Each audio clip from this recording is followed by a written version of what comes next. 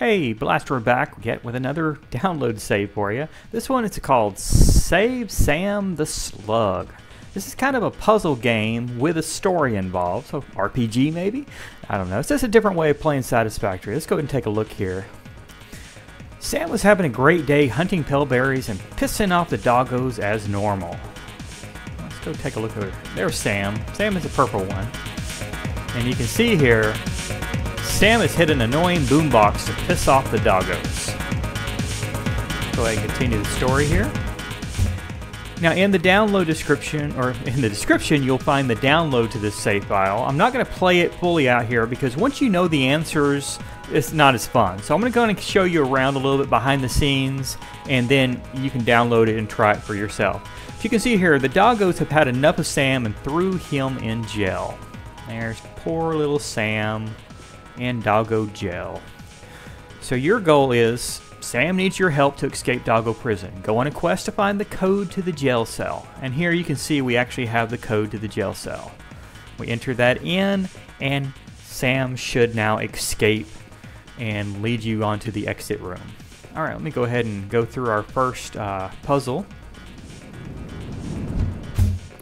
You can see here we have a pipe start instructions saying you basically connect the start to the end pipe. Do not delete any red pipes, do not empty any pipes, and do not go through walls. So what you're going to do is you're going to grab your materials to build your pipes, and then you're going to start here, and you're going to try to find your way to the exit. But you notice you can't go through the walls, so you can't just go straight to the exit. You've got to figure out what pipe you can actually connect to to go. I'll go ahead and give you the very first one here. It's right there. Connect that pipe. You can see the water is flowing now. And you're now trying to figure out what maze of pipes will get you right here to the exit. And once you connect to the pipe end, this will now let you in the entrance and it'll turn green and you moved on. You'll get a code segment. I'm to go ahead and fly over this now and you'll see right here I have a code room. Now there, there's a lot of logic going on. You're not going to see any of this. This is, like I said, behind the scenes. It's a pretty good sized map and a lot of cool little puzzles came in here. But every time you beat something, you'll go into this code room, you'll write down a piece of code, and you'll get back to the exit, and you'll put in that code. Uh, nice little jump puzzle room. Not going to do that one here. I'll let, let leave that for you. Uh, let's go over here to this room. This is a pretty cool one. This is uh, answers six questions on the far wall to exit. And you'll notice I put a bunch of power switches here with a bunch of items. But you'll see here we have six questions you need to answer by pulling the correct switches. Now, I will not kill you in this map. If you get one wrong, nothing happens. Just make sure you pull the right six switches and go on. And hopefully you at least attempt it without trying to pull every single switch in the room, which would also work, but it's not in the spirit of things. Alright, let's move on to the next one. So I don't want to go into too much detail. There's a lot for you to kind of figure out on your own, but I'll help out with some of these. Uh, this puzzle here is a building recipe logic puzzle.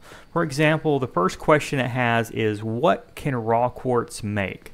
And what you're going to do here is you're going to connect a belt to the correct input of that answer. So you can see here I put it here, the coal will flow, and then I use the output to go into another correct answer. So the other, next one is steel ingot. First room, I don't mind giving you a couple answers. Of course, that's steel pipe. I only have six choices here. But let's say I choose something wrong. I'm going to go ahead and throw it over to this guy.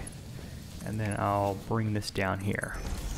So what's going to happen here, if you get an incorrect answer, you'll see the coal has flowed here, but it's not flowing out. So that's an incorrect answer. You need your coal to flow to the third answer to get it right here. So I'll take this one.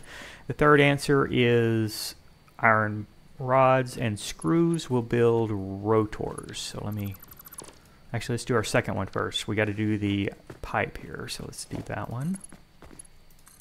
And then we'll go to rotor.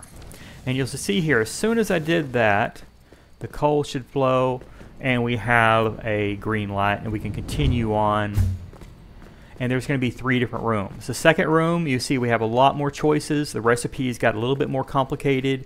In the third room, there's even more complication. I think there's 18 different items instead of here. We got one, two, three, four, five, 12 items here.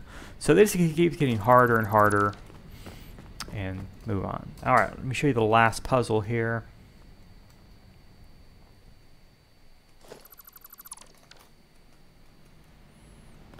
All right, the last puzzle is probably one of my favorites.